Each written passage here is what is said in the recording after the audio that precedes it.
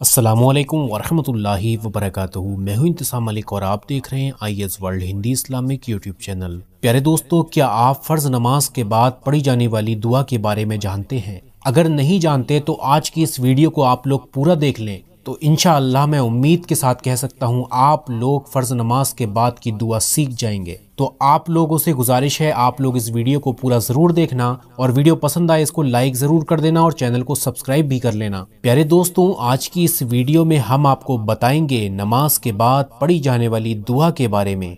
वो दुआ जो हमारे प्यारे नबी हुजूर सल्लल्लाहु अलैहि पढ़ा करते थे। तो मेरे प्यारे दोस्तों, सबसे पहले ये बात जान लें कि फ़र्ज़ नमाज़ के बाद आपको किस तरीके से दुआ पढ़नी है। तो मर्द हजरा जब मस्जिद में जमात के साथ नमाज़ अदा करते हैं, यानी इमाम साहब के पीछे नमाज़ पढ़ते हैं तो इमाम साहब फ़र्ज़ नमाज़ मुकम्मल तरीके से अदा करने के बाद जब दुआ मांगते हैं तो आप लोगों को हाथ उठाकर बस आमीन कहना है। बाकी तो इमाम साहब दुआ करते ही हैं, आप लोग उस पर सिर्फ़ आमीन कहें, इतना ही काफ़ी है। ये उस वक्त के लिए है जब आप लोग मस्जिद में जाकर नमाज़ पढ़ते हैं, यानी कि मर्द हजरात जब मस्जिद में जाकर नमाज़ पढ़ते हैं उस वक्त फ़र्ज़ नमाज़ अदा करने के बाद इमाम साहब दुआ करते हैं, उस पर आप लोगों को आमीन कहना है। तो प्यारे दोस्तों, आप लोगों को उस वक्त दुआ मांगने की ज़रूरत नहीं है। और प्यारे दोस्तों, जब औरतें तनहा यानी अकेले में नमाज़ पढ़ती हैं, और कभी कभी ऐसा भी होता है, मर्द हजरात भी अकेले यानी तनहा नमाज़ पढ़ते हैं। तो जब हम अकेले यानी तनहा नमाज़ पढ़ें,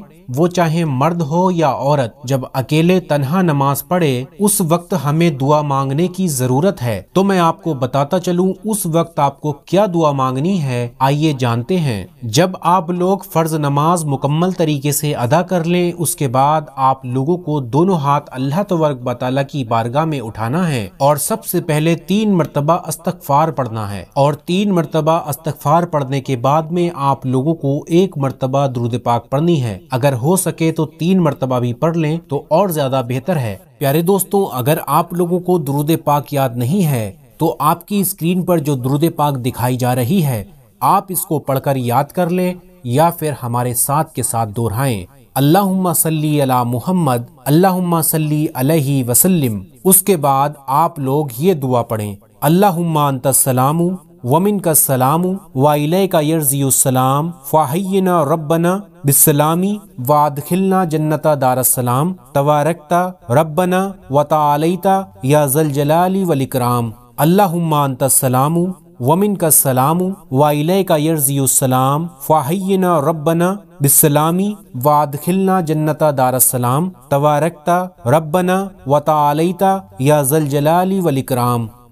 आप लोगों को इस तरीके से ये दुआ पढ़नी है।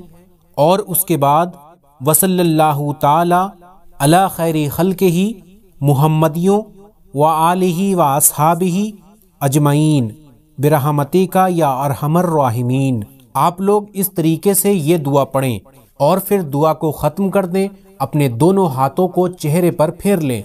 तो प्यारे दोस्तों, मैं उम्मीद करता हूँ आप लोग फ़र्ज़ नमाज़ के बाद की दुआ को सीख गए होंगे। अगर आप लोगों को इस वीडियो में कुछ भी समझ ना आया हो तो आप लोग कमेंट बॉक्स में कमेंट करके पूछ सकते हैं। इनशाला हम पूरी कोशिश करेंगे आपको इसका जवाब देने के लिए। ऐसे ही प्यारी प्यारी वीडियो देखने के लिए हमारे चैनल को सब्सक्राइब कीजिए और इस वीडियो को लाइक करके तमाम लोगों में शेयर ज़रूर कर देना। अच्छी बातें फैलाना सदका जारिया है। इस वीडियो को ज़्यादा से ज़्यादा लोगों में शेयर कर दीजिए। आज के लिए बस इतना ही। फिर मिलते हैं इनशाला एक नई वीडियो के साथ। आप लोग अपना ख्याल रखिएगा। अल्लाह हाफिज़।